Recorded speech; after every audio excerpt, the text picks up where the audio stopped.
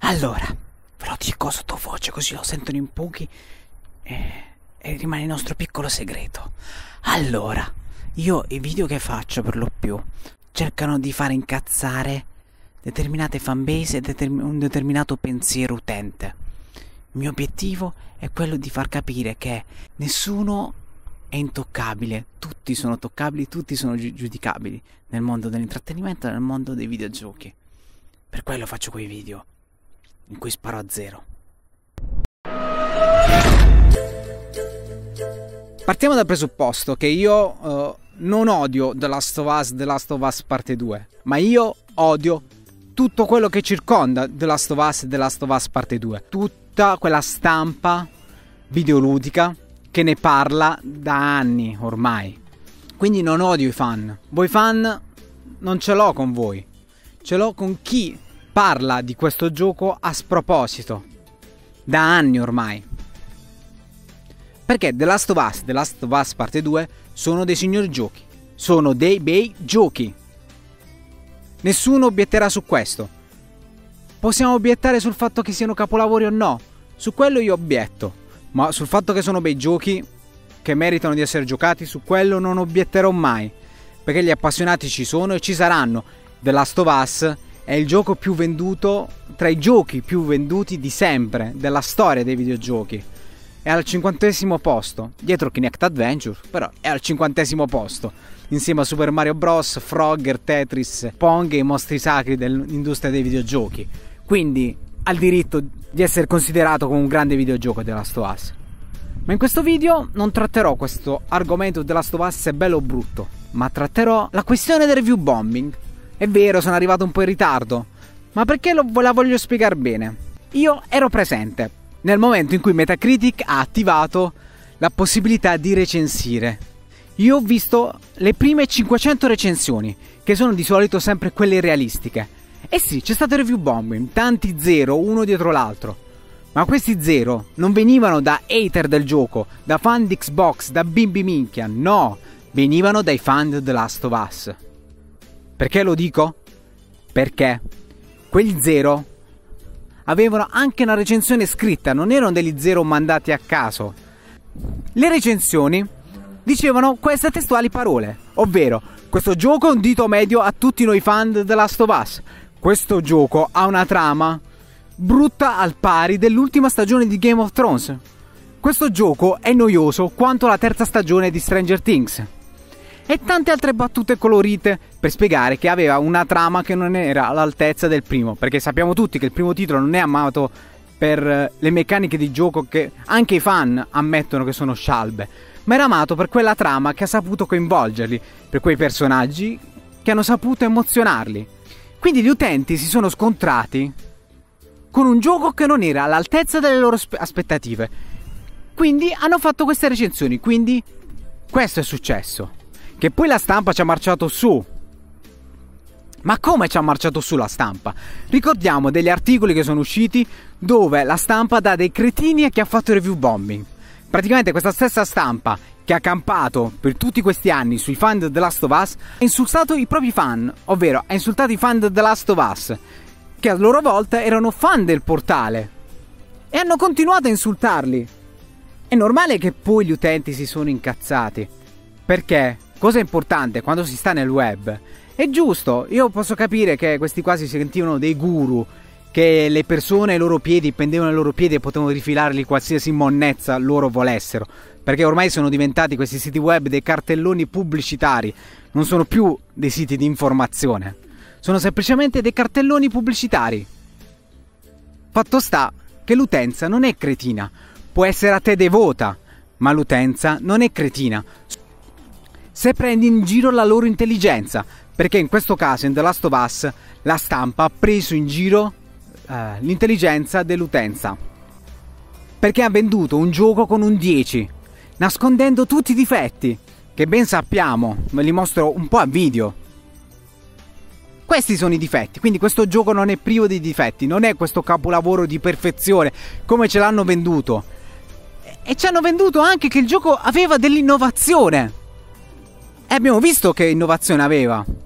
Aveva innovazione in confronto al primo capitolo, ma non per il mondo dei videogiochi. Tutte quelle meccaniche sono meccaniche classiche trite e ritrite nei videogiochi che tutti abbiamo visto. Anzi, meno male sono state ripristinate perché ho fatto un video vecchio tempo fa in cui mostravo che molte meccaniche si erano andate perse nel corso del tempo nei AAA. Però non per questo si tratta di un capolavoro rivoluzionario. No, è solo un bel gioco e l'utenza lo sa. E i difetti li ha visti una volta a pad alla mano e quindi si è sentita presa in giro dalla stampa specializzata, creando così un bel cortocircuito, di cui sono esperti molti siti. Perché alla fine il review bombing è fatto da, dai fan, non da ragazzini rosiconi o omofobi come li hanno dipinti i fan di The Last of Us. I fan di The Last of Us non sono bimbi minchia e omofobi. Mettetevelo in testa. Essendo un titolo amato per la trama, potrebbe anche non essere piaciuta. Potrebbe anche non essere piaciuto il gameplay. E nonostante hanno, la, hanno villantato più volte il realismo, chiunque pad alla mano non si è trovato un gioco realistico, ma ha dovuto continuare a sospendere l'incredulità come avviene in tutti i videogiochi. Quindi è un videogioco normalissimo. E poi, stampa specializzata che però trovare qualche difetto, mostrare i difetti, perché comunque l'utente va a spendere dei soldi, non lo riceve gratis come voi, stampa specializzata. Non lo riceve una settimana prima gratis. Non riceve la collector edition serigrafata. Non riceve certi trattamenti. L'utenza va a lavorare e spende questi 70 o 130 euro. E quindi trovarsi dei difetti in un gioco che gli sono stati omessi dalla recensione è normale che si incazza la fanbase. Normale. Voi invece, dando dei cretini, state sostenendo che i vostri fan sono tutti stupidi. E che sono obbligati ad, ad accettare quello che dite come oro colato. Altrimenti diventano omofobi, ignoranti, cretini. O non esperti di videogiochi che non hanno mai giocato ai videogiochi in vita loro. Semplicemente perché non approvano quello che piace a voi. Ma la gente potrà essere potrà scegliere il cazzo che gli piace videogiocare o no? Ve lo chiedo come se vi stessi guardando in faccia in questo istante. La gente può giocare al cazzo che gli pare, può scegliere a cosa giocare, senza che ve glielo imponiate, nascondendo i difetti, che ci voleva come ha fatto Ars Technica o Polygon a mostrare i difetti, o come ha fatto il sito Kujin. E non venderà un gioco come fa Mastrota o nelle televendite più squallide che ti vengono il prodotto che non funziona e ti nascondono tutti i difetti facendolo passare come grandioso. Questo dovreste capire. E poi vi attaccate tanto a Metacritic, ma sappiamo tutti che a Metacritic sta bene così il sistema.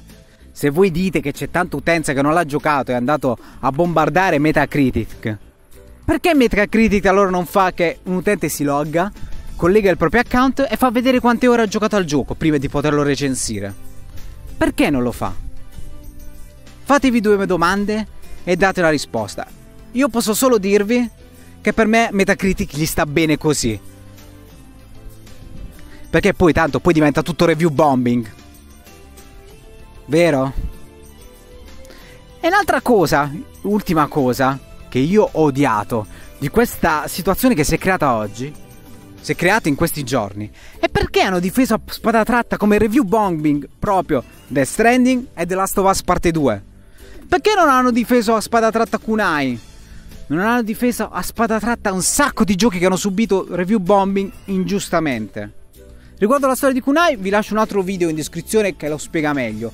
Non mi addentrerò nella storia di Kunai. I titoli che subiscono questo trattamento tutti i giorni sono tantissimi, però la stampa si è schierata nella difesa solo di Death Stranding e The Last of Us platealmente, dando anche dei cretini ai fan di The Last of Us. Mentre un più recente Valorant, tartassato solo perché aveva problemi al lancio, come un qualsiasi gioco online, siete stati in silenzio, così con Mass Effect Andromeda, e tanti altri titoli che non erano da zero, però lì non avete obiettato che gli utenti non hanno messo 7, ma hanno messo 0. Perché per questi titoli siete stati zitti, al contrario che per The Last of Us?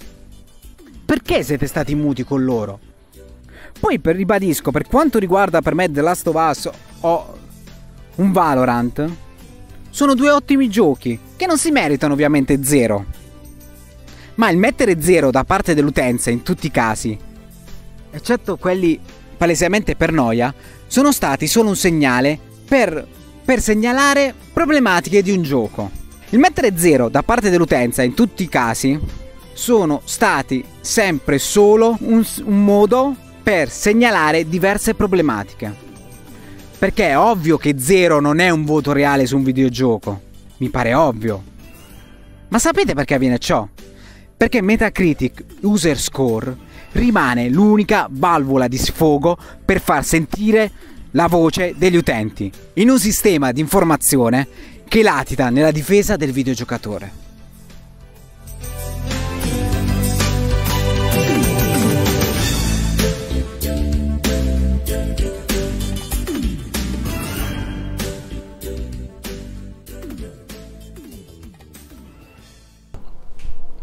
Vorrei farvi un appello.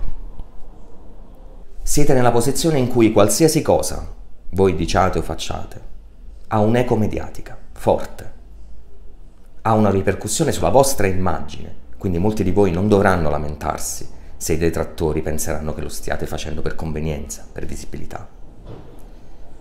E d'altro canto vi dovete rendere conto che state alimentando il veleno nella vostra community. Vi basta guardare, fatelo, se non lo fate spesso. Guardate i commenti sotto i vostri post indignati e guardate in quale mare di veleno state facendo sguazzare la vostra community. Dovreste disinnescare, dovreste usare le vostre competenze per riportare il discorso su una base più equilibrata. Parliamo di videogiochi. Non raggiungiamo il punto in cui si rischia che se qualcuno critica un'animazione o critica la bontà della storia, debba essere tacciato di essere un fascista, di essere un omofobo, di essere una persona che non merita di esprimersi. Tutti meritano di esprimersi, anche gli idioti. Ed è una cosa con cui conviviamo da sempre. Non possiamo puntare il dito quando noi stessi, come vi dicevo prima, almeno una volta nella vita, abbiamo fatto qualcosa del genere. Voi avete una responsabilità. Ora non è il momento di indignarsi così forte, perché state semplicemente arruffando il popolo. Siate responsabili, ve lo chiedo per favore. Utilizzate il vostro peso mediatico, il vostro potere, il vostro superpotere, è quello di essere ascoltati dalle persone, per disinnescare questa follia. Basta. Non contano i voti non contano i pareri. Quello che conta alla fine della fiera è chi ha giocato il gioco. L'ho amato? Sì. Lo ha odiato? Sì. È un'esperienza che resta a noi. Non esiste un'universalità dell'esperienza. Ed è proprio questo il bello della natura del videogame, che ognuno vive una sua esperienza. Voler stabilire un 10, uno 0, significa voler massificare e noi siamo per la diversità. Ecco, questo è essere per la diversità.